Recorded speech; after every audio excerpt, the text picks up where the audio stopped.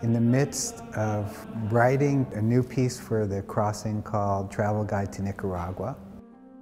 The text of the piece is basically a memoir. It's a story of uh, my family's uh, journey from Poland to Nicaragua. So I'm telling variations of that story. How the story is remembered, because now none of these people are alive.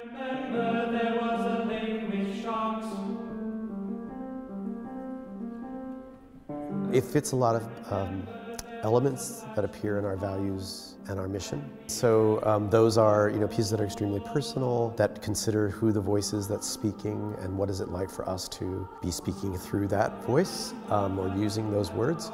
And also, you know, there's elements of social advocacy. It's a full concert-length piece, which is really important to us.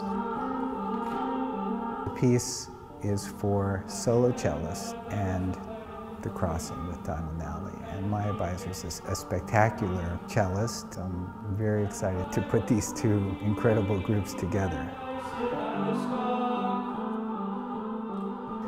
For a composer working today, The Crossing is, is almost like a dream come true.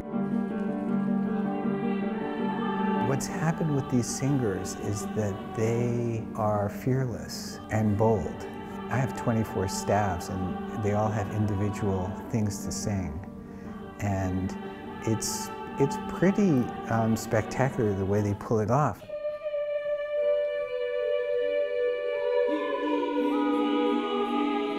I've had this incredible experience working with Don Nally and The Crossing. We listen to each other, we take each other's advice. Um, it's a real collaboration. I really trust him to have a new piece, to be telling this very personal story, it's an incredible place right now just to be in the, in the middle of this, of this creative act.